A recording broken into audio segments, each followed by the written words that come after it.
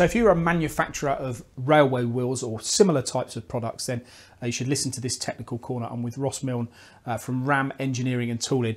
Ross, we're going to be talking about the Weingartner range of machines, uh, the MPMC, which is a, a multi-product machining centre. Yes. But this particular variant is ideal for railway railway wheels manufacturing, isn't it? Absolutely, absolutely. Basically, what we've done in, in this case, we've got a main spindle and a sub spindle, but both spindles are identical. Heavy duty, high powered, or in order to deal with the, the large size of the wheel and the weight of the wheel. This would normally be done on a vertical lathe. I've been to companies where they're doing these on vertical lathes. Absolutely. They talk about swarf fall away. They talk about the loading. Yep. You know, having a uh, putting a railway wheel verti- on a vertical lathe like that. Yep. You, you've got. You would think a very secure method of, of the sure. part's not going to move. If you put it in a horizontal, is it going to? You, you, you see all these aspects. What? Yeah. How do you overcome these objections? Very interesting that you'd ask that because we have a loading system in the back that deals with that for you. So they turn up a bunch of wheels in a rack. The loading system picks it up and puts it straight into the spindle for you. So you don't have to worry about how to load it, hanging it off a crane and so on. So we deal with that aspect for you. When you talk about swarf fall away, well, working in this orientation, the swarf literally does fall away. It can't gather in the top. So you could argue you don't need the high speed, um, sorry, the the high volume coolant to get the to get the swarf out the way that you would on a VTL. Whereas with this, it just all drops straight away. But securing it in the horizontal format. Yes.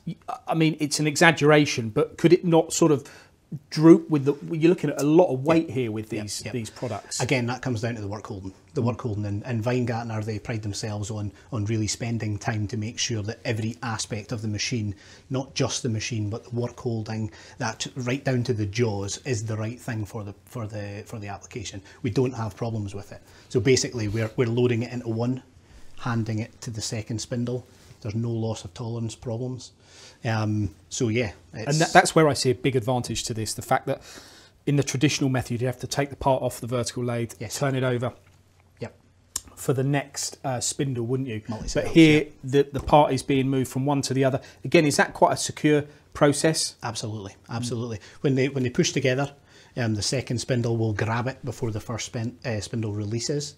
Um, then they move away into their own compartment, if you like. Um, we have two swivel and B axis within the machine. We don't just have the one, so we're not losing any time. So what you get here, you get here.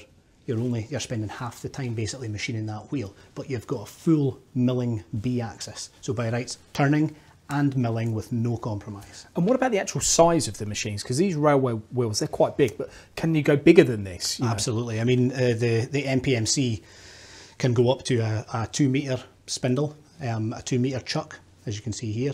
Um, we can take up to 80 tons in weight and 15 meters in length. So by rights, these wheels are a fairly small item for a Weingartner. Um, yeah, it, it- it's fascinating. What, what other applications? We're talking about the railway wheels, but is there anything else that you can think that this would fit perfectly for? What other industries? Yeah, with the two spindles. Yeah, with the two spindles. Yeah, absolutely. I mean, anything that has two operations, which most part most parts do, by rights, this lends itself to um, the compressor. Where it's not going to be an overkill.